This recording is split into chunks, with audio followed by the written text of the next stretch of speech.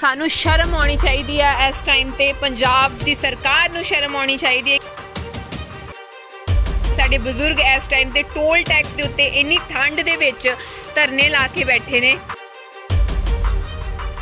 ਔਰ ਸਾਡੀਆਂ ਸਰਕਾਰਾਂ ਨੂੰ ਬਿਲਕੁਲ ਸ਼ਰਮ ਨਹੀਂ ਆਂਦੀ ਇਸ ਗੱਲ ਦੀ ਕਿ ਸਾਡਾ ਕਲਚਰ ਕੀ ਕਹਿੰਦਾ ਹੈ ਵੀ ਆਪਾਂ ਬਜ਼ੁਰਗਾਂ ਨੂੰ ਇਸ ਤਰੀਕੇ ਦੇ ਨਾਲ ਸਟਰਗਲ ਕਰਵਾਉਣਾ ਆ। ਸੋ ਇਹ ਜਿਹੜਾ ਕਿਸਾਨੀ ਬਿੱਲ ਹੈ ਇਹ ਜਿਹੜੇ ਸਾਡੀਆਂ ਸਰਕਾਰਾਂ ਕਰ ਰਹੀਆਂ ਨੇ ਸਾਡੇ ਨਾਲ ਇਸ ਟਾਈਮ ਤੇ ਸਲੂਕ, ਉਹ ਕਿੰਨਾ ਜ਼ਿਆਦਾ ਗੰਦਾ ਸਲੂਕ ਆ।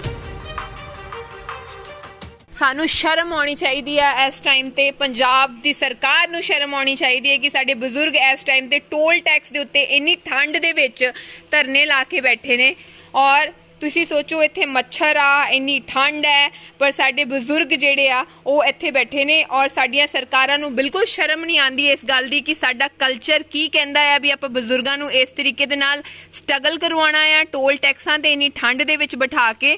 ਸੋ ਇਹ ਜਿਹੜਾ ਕਿਸਾਨੀ ਬਿੱਲ ਹੈ ਇਹ ਜਿਹੜੇ ਸਾਡੀਆਂ ਸਰਕਾਰਾਂ ਕਰ ਰਹੀਆਂ ਨੇ ਸਾਡੇ ਨਾਲ ਇਸ ਟਾਈਮ ਤੇ ਸਲੂਕ, ਉਹ ਕਿੰਨਾ ਜ਼ਿਆਦਾ ਗੰਦਾ ਸਲੂਕ ਆ। ਸੋ ਸਾਨੂੰ ਸਾਰਿਆਂ ਨੂੰ ਇਹ ਸੋਚ ਸਮਝ ਕੇ ਆਪਣੀ ਜਿਹੜੀ ਕੀਮਤੀ ਵੋਟ ਆ, ਆਉਣ ਵਾਲੀਆਂ ਇਲੈਕਸ਼ਨਸ 22 ਦੇ ਵਿੱਚ ਪਾਉਣੀ ਹੈ ਤਾਂ ਕਿ ਆਪਾਂ ਆਪਣੇ ਬਜ਼ੁਰਗਾਂ ਨੂੰ ਇਹ ਸਾਡੇ ਪਿਓ ਨੇ, ਸਾਡੇ ਦਾਦੇ ਨੇ, ਅਸੀਂ ਉਹਨਾਂ ਨੂੰ ਘਰ ਦੇ ਵਿੱਚ, ਇੰਨੀ ਠੰਡ ਦੇ ਵਿੱਚ ਘਰ ਬੈਠਣ ਵਾਸਤੇ ਰੱਖਦੇ ਆ, ਨਾ ਕਿ ਇੱਥੇ ਸੜਕਾਂ ਦੇ ਉੱਤੇ ਬਿਠਾਉਣ ਵਾਸਤੇ। ਸੋ ਬਾਪੂ ਜੀ, ਤੁਸੀਂ ਕੀ ਕਹਿਣਾ ਚਾਹੋਗੇ? ਸਾਰੇ ਜਣੇ ਦੇਖ ਰਹੇ ਨੇ ਤੁਹਾਨੂੰ। ਅਸੀਂ ਤਾਂ ਇਹੀ ਕਹਿਣਾ ਚਾਹੁੰਦੇ ਹਾਂ ਜੀ ਕਿ ਸਾਨੂੰ ਇਹਨਾਂ ਨੇ ਮਜਬੂਰ ਕੀਤਾ ਹੈ ਇਸ ਕਰਕੇ। ਕਿਉਂਕਿ ਅਸੀਂ ਇੱਥੇ ਕੁਰਬਾਨੀਆਂ ਦਵਾਂਗੇ ਸ਼ਹੀਦੀਆਂ ਪਾਵਾਂਗੇ। ਮਰਾਂਗੇ। ਮਾਰਾਂਗੇ ਜੀ ਮਾਰਾਂਗੇ ਮਰਾਂਗੇ। ਮਾਰਾਂਗੇ। ਔਰ ਇਹਨਾਂ ਨੂੰ ਮਾਰਾਂਗੇ ਔਰ ਮਰਾਂਗੇ। ਬਾਕੀ ਦੂਜੀ ਗੱਲ ਹੈ ਵੀ ਇਹ ਜਿਹੜੇ ਐਡੀਨੈਸ ਬਿੱਲ ਲਿਆਂਦੇ ਨੇ ਇਹਨਾਂ ਨੂੰ ਵਾਪਸ ਕਰਾ ਕੇ ਹਟਾਂਗੇ। ਜੇ ਆਪਣੇ ਆਪ ਬੰਦੇ ਬਣ ਗਏ ਤਾਂ ਠੀਕ ਹੈ। ਨਹੀਂ ਅਸੀਂ ਬੰਦੇ ਬਣਾਉਣ ਜਾਣਦੇ ਆ ਅਸੀਂ ਅਮ, ਪਾਕਿਸਤਾਨ ਦੇ ਆਪਣੇ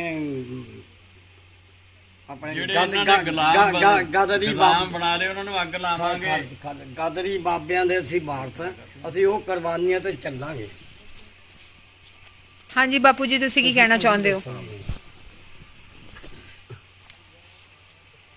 ਇਹ ਉਹੀ ਟਾਈਮ ਆ ਗਿਆ ਜਦ ਪਹਿਲਾਂ ਅੰਗਰੇਜ਼ ਆਏ ਤੇ ਕਿੰਨੇ ਸਾਲ ਰਾਜ ਕਰ ਗਏ ਸਾਡੇ ਬੱਚੇ ਸੂਰਮੇ, ਭਗਤ ਸਿੰਘ ਵਰਗੇ ਰਾਜਗੁਰੂ ਸੁਖਦੇਵ ਤੇ ਲਾਲ ਬਹਾਦਰ ਸ਼ਾਸਤਰੀ, ਜਿਹੜੇ ਗਵਾਲੀਅਰ ਦੇ ਕਿਲੇ ਦੇ ਵਿੱਚ ਸਾੜੇ ਗਏ, ਜਿੱਥੇ ਇੱਕ ਸੂਰਜ ਦੀ ਲੋਭ ਨਹੀਂ ਤੀ ਪਹੁੰਚਦੀ।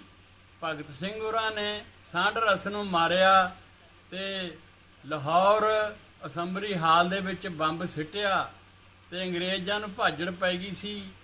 ਫਿਰ ਉਹਨਾਂ ਨੇ ਕਿਹਾ ਕਹਿੰਦਾ ਆਪਾਂ ਨੇ ਫੋਕਾ ਬੰਗ ਬੰਬ ਮਾਰਨਾ।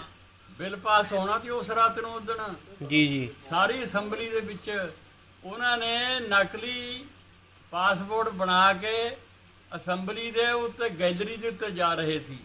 ਜਦ ਬੈਸਰਾਏ ਲੱਗਿਆ ਕਰਨ ਸੈਨ ਜਦੇ ਬੰਬ ਮਾਰਿਆ। ਫਿਰ ਪਸਤਾਵਲ ਸਿੱਟਤੇ। ਸੂਰਮਿਆਂ ਨੇ ਵੀ ਸਾਨੂੰ ਗ੍ਰਿਫਤਾਰ ਕਰੋ। ਅਸੀਂ ਭੱਜਣਾ ਨਹੀਂ ਹੈ। ਜਿਹੜਾ ਕੰਮ ਕਰਨਾ ਸੀ ਕਰਦਾ ਸੀ, ਬਿੱਲ ਨਹੀਂ ਪਾਸ ਹੋਣ ਦੇਵਾਂਗੇ। ਉਹੀ ਟਾਈਮ ਪਹਿਲਾਂ ਸਾਨੂੰ ਪਤਾ ਨਹੀਂ ਲੱਗਿਆ ਇਹ ਬੇਈਮਾਨ ਨੇ ਪਹਿਲਾਂ ਜਿਹੜੇ ਅਸੀਂ ਬਿੱਲ ਪਾਸ ਕਰਨ ਲੱਗੇ ਤੇ ਉਹ ਪਾਸ ਨਹੀਂ ਹੋਣ ਦਿੱਤੇ ਨੇ, ਸਕੀਮ ਬਣਾਈ ਹੈ। ਆ ਬਹਾਨਾ ਬਣਾ ਲਿਆ ਕਰੋਨੋ ਦਾ। ਕਰੋਨੋ ਦਾ ਬਹਾਨਾ ਲਾ ਕੇ ਸਾਨੂੰ ਅੰਦਰ ਬਾੜ ਕੇ ਇਹ ਬੇਈਮਾਨ ਨੇ ਚੋਰੀ ਤੇ ਬਿੱਲ ਪਾਸ ਕੀਤਾ ਹੈ। ਅਸੀਂ ਉਸੇ ਤਰ੍ਹਾਂ ਜਿਵੇਂ ਜਦ ਭਗਤ ਸਿੰਘ ਫਿਰ ਸਾਰੀ ਦੁਨੀਆ ਉੱਠ ਖੜੀ ਸੀ, ਫਿਰ ਅੰਗਰੇਜ਼ਾਂ ਨੇ ਨੱਕ 'ਚ ਦਮ ਆ ਗਿਆ ਵੀ ਹੁਣ ਅਸੀਂ ਇਹਨਾਂ ਨੂੰ ਜਿੱਤ ਨਹੀਂ ਸਕਦੇ। ਫਿਰ ਇੱਥੋਂ ਇਹ ਭੱਜੇ ਨੇ। ਐਸੇ ਤਰ੍ਹਾਂ ਅਸੀਂ ਹੁਣ ਵੀ ਭਜਾ ਕੇ ਛੱਡਾਂਗੇ ਜਾਂ ਮਰਾਂਗੇ ਜਾਂ ਮਾਰਾਂਗੇ। ਅਸੀਂ ਇਹਨਾਂ ਦੇ ਟੂਲ ਟੈਸ਼ਨ ਨਹੀਂ ਚੱਲਣ ਦੇਵਾਂਗੇ। ਜਿਹੜੇ ਇਹਨਾਂ ਨੇ ਸ਼ੋਰ ਰੂਮ ਬਣਾਏ ਨੇ, ਬੇਈਮਾਨਾਂ ਨੇ, ਉਰੇ ਵਾਲਾ ਸਮਾਨ ਬੰਦ ਕਰਕੇ ਆਪਦਾ ਵੇਚਣ ਦੀ ਤਿਆਰੀ, ਉਹਨਾਂ ਨੂੰ ਅੱਗ ਲਾ ਕੇ ਫੂਕਾਂਗੇ। ਵੇਖੋ ਤੁਸੀਂ, ਸਾਡੀ ਸਰਕਾਰਾਂ ਆਪਾਂ ਕਿਸ ਕਰਕੇ ਬਣਾਉਂਦੇ ਆ ਕਿ ਸਾਡੀ ਸੁੱਖ ਸਹੂਲਤਾਂ ਵਾਸਤੇ ਆਪਾਂ ਆਪਣੀਆਂ ਪਾਵਰ ਇੱਕ ਕੀਮਤੀ ਵੋਟ ਆਪਾਂ ਦਿੰਨੇ ਆ ਹਰ ਇੱਕ ਆਪਣੇ ਐਮਐਲਏ ਨੂੰ, ਹਰ ਇੱਕ ਆਪਣੇ ਐਮਪੀ ਨੂੰ ਕਿਸ ਕਰਕੇ ਬਣਾਉਂਦੇ ਆ ਕਿ ਅੱਜ ਸਾਡੇ ਬਜ਼ੁਰਗ ਟੋਲ ਟੈਕਸਾਂ ਦੇ ਉੱਤੇ ਰਾਤ ਨੂੰ ਧਰਨੇ ਦੇਣ? ਸਾਨੂੰ ਸ਼ਰਮ ਆਉਣੀ ਚਾਹੀਦੀ ਆ, ਪੰਜਾਬੀਅਤ ਨੂੰ ਸ਼ਰਮ ਹੋਣੀ ਚਾਹੀਦੀ ਆ। ਇਹ ਇਸ ਇਹ ਚੀਜ਼ ਦੇਖ ਕੇ, ਮੈਂ ਜਾਂਦੀ ਹੋਈ ਸ਼ੂਟ ਤੋਂ ਦੇਖ ਕੇ ਇੱਥੇ ਰੁਕ ਮੈਨੂੰ ਸ਼ਰਮ ਆਉਂਦੀ ਆ ਕਿ ਬਾਪੂ ਜੀ ਹੁਣੀ ਇੰਨੀ ਠੰਡ ਦੇ ਵਿੱਚ ਇੱਥੇ ਬੈਠੇ ਧਰਨੇ ਦੇ ਰਹੇ ਨੇ ਤੇ ਸਾਡਾ ਯੂਥ ਇਸ ਟਾਈਮ ਤੇ ਘਰ ਦੇ ਵਿੱਚ ਸੁੱਤਾ ਪਿਆ ਆ, ਉਹਨਾਂ ਨੂੰ ਸ਼ਰਮ ਆਉਣੀ ਚਾਹੀਦੀ ਆ। ਇਹ ਵੀ ਸਾਡੇ ਪਿਓ ਨੇ, ਸਾਡੇ ਦਾਦਾ ਜੀ ਵਾਂਗੂ ਆ।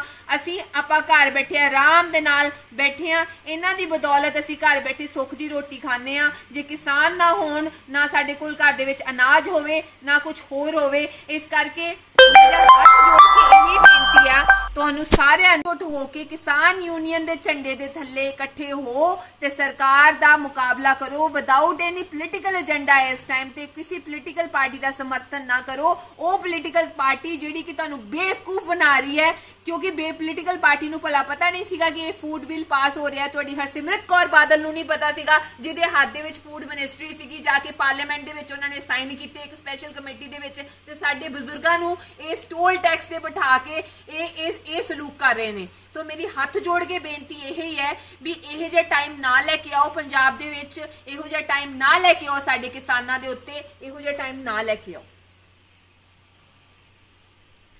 ਸਾਤੋਂ ਜ਼ਮੀਨ ਖੋਣ ਦੀ ਵੀ ਤਿਆਰੀ ਕਰ ਲਈ ਇਹਨਾਂ ਨੇ। ਤੁਹਾਨੂੰ ਦਿਹਾੜੀ ਦੇ ਰੱਖਿਆ ਕਰਾਂਗੇ, ਤੁਹਾਨੂੰ ਠੇਕਾ ਦੇਵਾਂਗੇ। ਅਸੀਂ ਇਹਨਾਂ ਦੀਆਂ ਚਾਲਾਂ ਸਭ ਜਾਣਦੇ ਆ ਜੇ ਕੇਰਾ ਜ਼ਮੀਨ ਠੇਕੇ ਤੇ ਨਾ ਲੈ ਲਈ, ਮਗਰੋਂ ਛੱਡਦੇ ਥੋੜੋ ਨਾ ਇਹ। ਇਹ ਬੇਈਮਾਨ, ਇਹ, ਇਹੋ ਜਿਹਾ ਬੇਈਮਾਨ ਹੁਣ ਸਹੀ ਪ੍ਰਧਾਨ ਮੰਤਰੀ ਕੋਈ ਨਹੀਂ ਸੀ ਆਇਆ, ਜਿਹਾ ਜਿਹਾ ਇਹ ਆਇਆ। ਇਹ ਤਾਂ ਬੁੱਚੜਾਂ ਚੋਂ ਹੈ। ਬੁੱਚੜ ਇਹ ਪ੍ਰਧਾਨ ਮੰਤਰੀ ਨਹੀਂ ਹੈ, ਇਹ ਬੇਈਮਾਨ ਹੈ।